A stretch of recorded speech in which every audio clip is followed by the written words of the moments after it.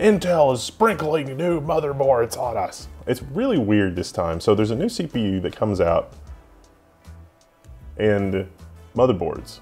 And we've got motherboards that we can talk about, but we can't talk about the performance of the 9000 series CPUs. So I've got an 8000 series CPU in here. This is the ASRock Z390 Taichi. ASRock has very quickly built a name for the Taichi line, basically being, you know, everything that you need, nothing that you don't know nonsense.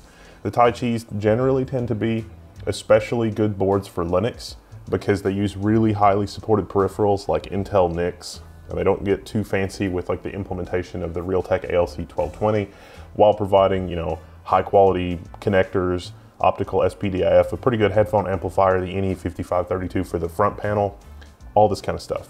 The big difference between Z370 and Z390 is that Intel is doing the USB 3.1 Gen 2 on the chipset. And even Linux support for that is pretty good because that Intel USB 3.1 Gen 2 controller first showed up with H370. So it's, it's been out in the wild a little while. It's just H370 and Z370 sort of melded together is Z390. And specifically, Z390 supports the higher power draw and uh, advanced features of the new 9000 series CPUs, but there's really not a lot of difference. So the motherboards are compatible with the 8th and 9th generation CPU. So if you wanted to get an 8700K and use it in a Z390, you totally could.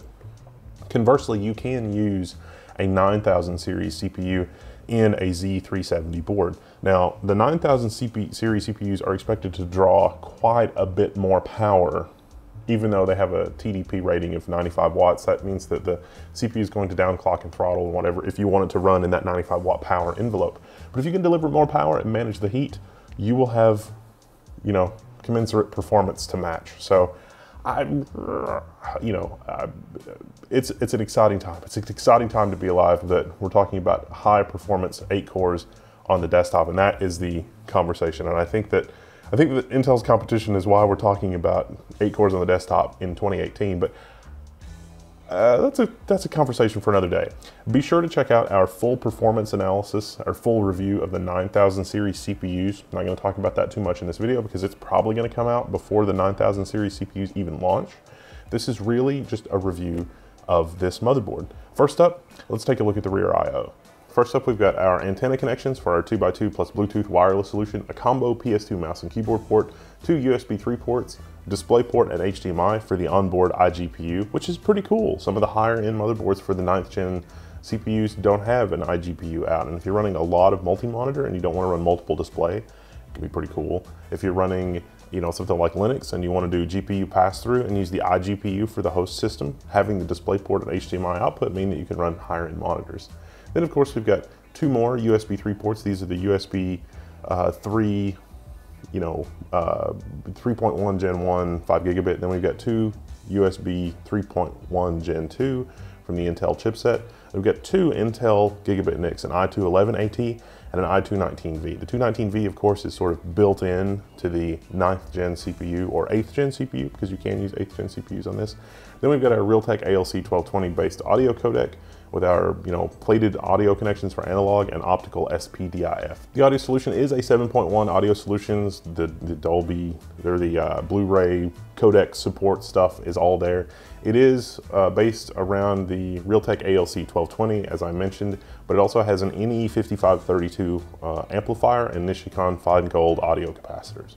All right, now in terms of board layout, we've got two PCI Express by one slots. They are open-ended on the end, so if you've got like a by four card, you can shove that in there, but it's only gonna work at a PCI Express by one speed, which may or may not impact how the card actually works. Like if you're doing 4K uncompressed capture, it'll work in a 1X slot, but it won't work because there's not enough bandwidth in PCI Express by one.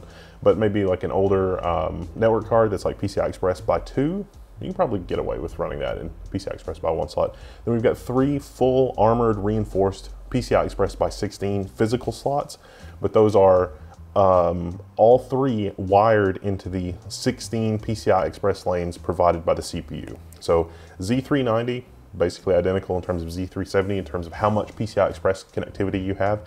You have 16 PCI Express lanes through the CPU, and then you have a number of PCI Express lanes that are through the chipset, but the chipset itself is connected to the CPU only by a single PCI Express by 4 type connection. That's actually DMI 3.0, but it's only PCI Express by 4's worth of bandwidth.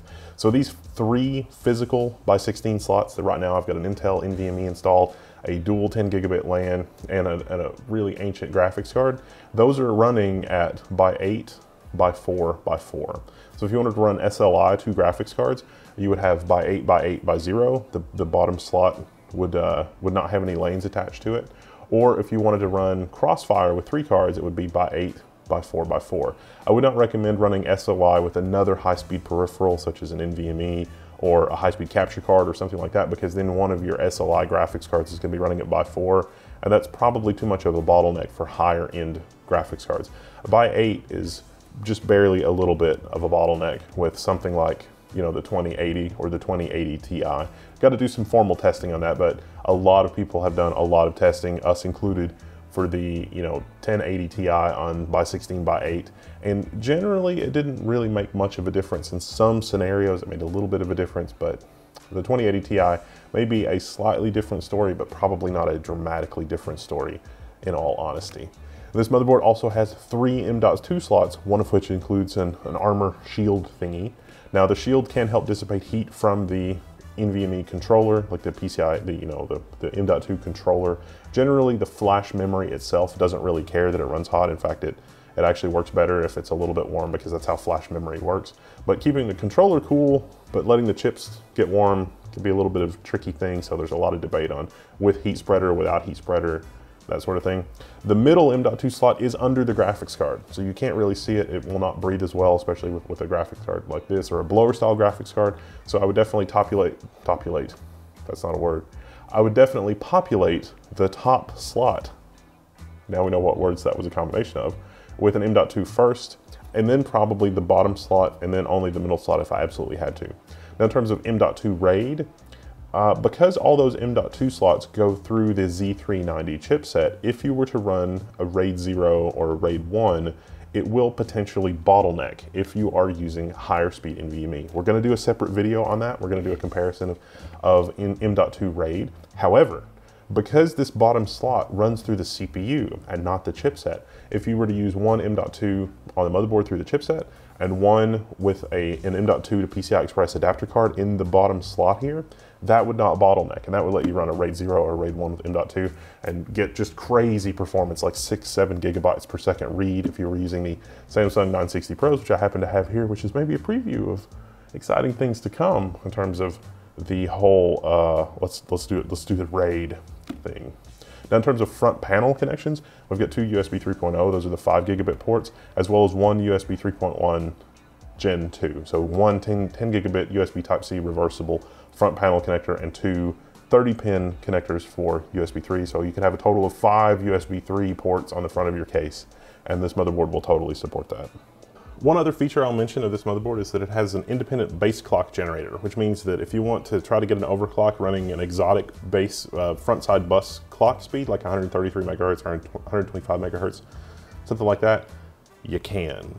So that really helps or at least in past generations, used to help with the non-K series CPUs, but you know, since these ninth gen CPUs that are launching are all enthusiast CPUs and the multiplier is unlocked, I don't know how much you're really gonna do with base clock customization unless you're doing like extreme overclocking or something like that. But with the base clock overclocking, it does give you a little bit more flexibility to squeeze a little bit more performance out of the system because you can't really overclock PCI Express peripherals. And having the base clock thing means that you can run the CPU at a different speed than your peripherals, which is a good thing in terms of system stability. This motherboard does also have a number of RGB headers in terms of 50-50 headers, as well as the digital LED strip headers. It also has a Thunderbolt header, so if you wanted to run Thunderbolt, you can totally do it. Now, the interesting thing with Thunderbolt is that almost always Thunderbolt goes through chipset lanes and not lanes connected directly to the CPU. But in this case, if you were to use the M.2 connector, uh, or if you were to use the bottom PCI Express slot, it would actually run directly through the CPU, not the chipset. Gonna have to get a Thunderbolt card and do some experimentation. Maybe that will be another video. Now, in terms of overclocking performance and overclocking support, eight CPUs running at, you know, one contemplates up to 5.3 gigahertz it's gonna generate a lot of current through the motherboard, which will generate a lot of heat. And that brings us to our VRM, our motherboard VRM. Well, the motherboard VRM in this is advertised as an IR Digital PWM 12-phase power design. And when we actually take a closer look at it, it is 10, uh, it's 10 phases for VCC and two phases for uh, the, the graphics connection, I think. So that's a five phase with phase doublers. Um, and so the PWM controller is an IR35201, that's in a 5 plus 2 configuration. And then the uh, doubler, the dual driver, is an IR3598. So there are actually 14 inductors around the perimeter of the CPU, but those are 60 amp inductors. We've got Nichicon 12K capacitors and a TI CSD 87350 NexFET for the MOSFETs.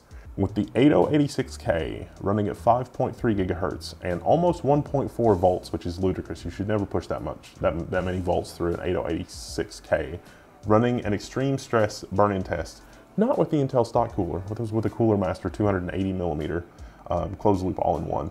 This motherboard uh, got a little warm, maybe the VRM heatsink solution, it's solid as opposed to fend.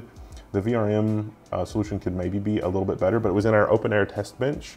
Uh, it was it was not alarmingly warm, but maybe just on the side of being alarmingly warm with the 8086K. Now, if you set this up in the case and you have a top fan, like if you had a fan mounted here, I am sure that the VRM heat situation would be no problem. So in terms of 5.3 gigahertz stability with the 8086K the special anniversary edition, yes, this motherboard delivers. And that's nice because with the Taichi, they always try to aim for giving you exactly what you need and not what you don't. So like, oh, I'm gonna do some sort of, you know, 5.5 gigahertz ridiculous overclock where my CPU is drawing 450 watts of power.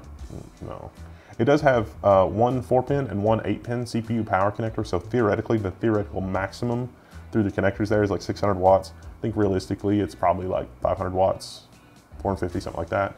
And, uh, you know, total system power consumption uh, on the order of like 300 watts, 330 watts, something like that. So in terms of like power delivery, will it give you what you want in terms of reasonable overclockability, even if you happen to get, you know, the top 10% of 9000 series chips? I can't officially say yes, but probably. At least it works great with the 8000 series chips. So we're gonna do a lot more testing on the 9000 series chips. Be sure to check out our full performance analysis. Now, in terms of Linux support, the Taichi generally are basically flawless for Linux. Uh, this motherboard is no exception. DDR4 4000, of course, was stable. That's what we tested it at. Uh, the, the Intel NICs worked fine. As far as I could tell, the USB uh, setups were working fine. I did not have a USB-C connector to test that, but the USB 3.1 Gen 2 Type A connector at the back of the motherboard worked, so I'm pretty sure that everything else will be fine. All the other rear I.O. is fine. Combo PS2 mouse and keyboard port is fine. The Intel wireless, of course, is supported on Linux. So uh, there wasn't really much uh, there, I mean, this motherboard was ex basically exactly according to plan. Uh, ASRock has reorganized the BIOS a little bit to make it a little bit more organized and a little bit more user-friendly. Uh, if you're, you know, scared of overclocking or whatever, you can basically just go in and turn on multi-core enhancement and be good to go. That, that'll mean that all of your cores will run at whatever the maximum turbo is supported by Intel, which 99% of chips should be able to do that. Like that should basically be a free overclock as long as you can manage the heat. Now one final note about the IOMMU grouping situation.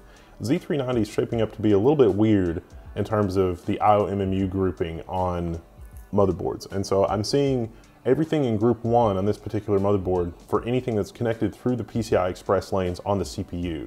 So the, the by 16 I've got right now, it's by 8 by 4 by 4 as I mentioned, but each one of these devices is not isolated from the other. They are all grouped together in the same IOMMU group group one in this case.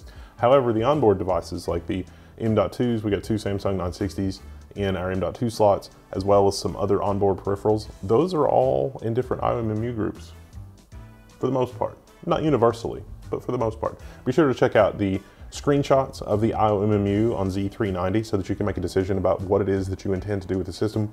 We will generally try to populate the system with a bunch of peripherals so that you get some idea of how that works. So don't just take my word of saying, oh, it's fine or it's not fine. Actually look at the IOMMU groups and the peripherals that we have in the system in order to make a determination for your specific case.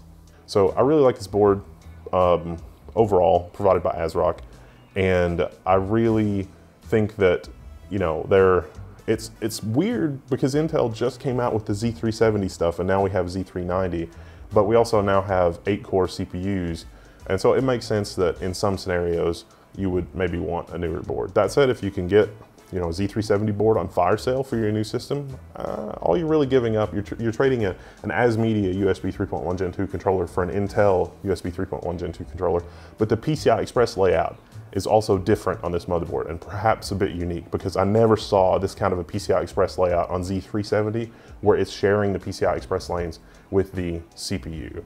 So exciting times. I really honestly prefer this PCI Express layout where the 3 by 16 slots go through the CPU and a by 8 by 4 by 4 than through the chipset because that DMI 3.0 interface at this point, especially if you've got high-speed peripherals, is basically bottlenecked. So I'm Wendell, I'm signing out, and you can find me in the Level 1 forums.